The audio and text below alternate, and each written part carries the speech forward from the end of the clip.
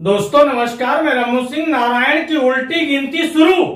विधायक नारायण त्रिपाठी के मैहर में बागेश्वर धाम के पंडित धीरेन्द्र शास्त्री का धार्मिक कार्यक्रम हुआ कैंसिल। सोशल मीडिया पर वायरल खबरों में कहा गया कि बागेश्वर महाराज ने माना है कि उन पर मैहर कार्यक्रम कैंसिल करने का दबाव था। 2023 का विधानसभा चुनाव 2024 का लोकसभा चुनाव। जिताने में पंडित धीरेन्द्र शास्त्री और कथावाचक पंडित प्रदीप मिश्रा का किया जा सकता है भरपूर इस्तेमाल। कभी मोरारी बापू का भी इस्तेमाल किया जा चुका है।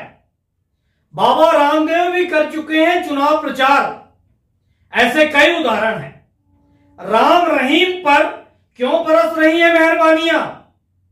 नारायण त्रिपाठी को अभी तक भाजपा इसलिए कोई जवाब नहीं दे रही थी क्योंकि भाजपा को उम्मीद थी कि शायद संभवतः, किंतु परंतु नारायण त्रिपाठी की ज़रूरत मैयर में पड़ सकती है।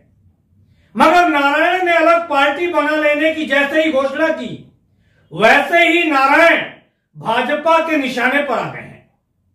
नारायण त्रिपाठी अगर विधायक से पूर्व विधायक होने पाए तो रीवा के लक्ष्मण तिवारी जैसे हाल हो सकते हैं। पूर्व होते ही फैक्ट्रियाँ या अन्य चंदा देना कम कर सकते हैं। बहुत सारे समर्थक साइड से निकलने लग सकते हैं। मैं एक बार फिर कहूँगा, पहले भी कह चुका हूँ, कुंवर अर्जुन सिंह ने तिवारी कांग्रेस नाम की अलग पार्टी बनाई थी। फायर ब्रांड नेता उमा भारती ने अलग पार्टी बनाई थी। उन पार्टियों के क्या हस्र हुए? छोटा सा सवाल। क्या नारायण त्रिपाठी इन नेताओं से ज़्यादा पावर रखते हैं? क्या इनसे ज़्यादा पॉपुलर है? क्या इनसे ज़्यादा बड़े ओहदों पर पहुँच चुके हैं?